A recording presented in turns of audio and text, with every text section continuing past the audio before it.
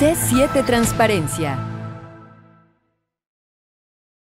Eh, ¿Cómo el ejercer el derecho a acceso a la información y que el gobierno sea transparente ayuda a, evitar la exclusión social? Esto es, ayuda a incluir a las personas en el desarrollo cultural, económico, social, etcétera.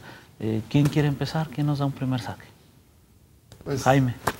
Primero que nada, destacar la labor que hace el Consejo Nacional de Fomento Educativo, la presencia que tenemos en, el Estado, tenemos 113 municipios que atendemos. Damos cobertura garantizando la educación básica desde preescolar a secundaria, en donde la Secretaría de Educación Pública no tiene cobertura. De ahí la importancia pues, de atender las zonas de gran marginación, de muy alta marginación en el Estado y de poder garantizar el derecho a la educación de nuestros niños. Sin duda ha sido muy importante el convenio que se firmó con el Instituto de Transparencia, porque necesitamos que nuestros niños, nuestros jóvenes, pues sean críticos, sean constructivos, ejerzan sus derechos.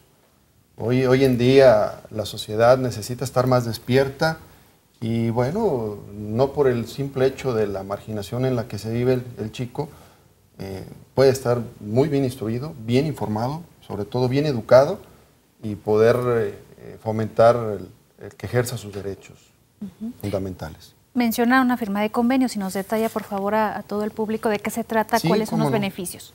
Claro que sí, bueno, el día 2 de marzo tuvimos a bien el Instituto de Transparencia y el Consejo Nacional de Fomento Educativo eh, firmar un acuerdo de voluntades en relación a que podamos tener un impacto en la sociedad. Eh, yo hace un ratito referenciaba de 113 municipios la cobertura que tenemos y bueno, nosotros atendemos a 15 mil alumnos.